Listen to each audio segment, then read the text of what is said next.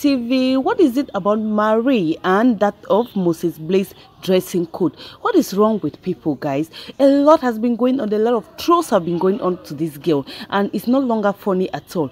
Every wife dressing should be pleasing to the husband, and vice versa. Any other opinion is an intruder. Yes, I say intruder. What's wrong with our generation putting their mouth into people's privacy? Her wedding gown, you talk. Her aftermath dressing, you talk. Has Moses Bliss complained about it? No. They left the house together and he saw that she was good looking the way she has dressed and then they came out together. Then you are the one talking the talking. I beg, make we leave these people rest. I beg, make we leave them rest and make we learn to mind our own businesses for this generation. Yeah, Marie, you are a good wife to Moses Bliss and Moses Bliss likes it like that. I had said it and I won't talk about these people again but I think this was necessary for me to write this. It is not good at all. Just hear what somebody had to say without sounding like hater. I would like to tell this lady to stop dressing like an old woman. Modesty is different from being unfashionable. Your husband is a young boy. Hmm, my people, this is not easy one and people had to re respond to this. They want her to be madam everybody not knowing that her body is only for the husband. She is not a cheap commodity. They can easily be affordable. Marie you are a blessing to womanhood. Keep it up. Yes i applaud you for that.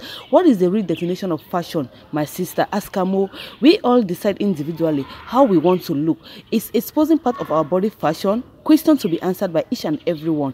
There can be decency in sexiness. This generation and fashion trend are 5 and 6.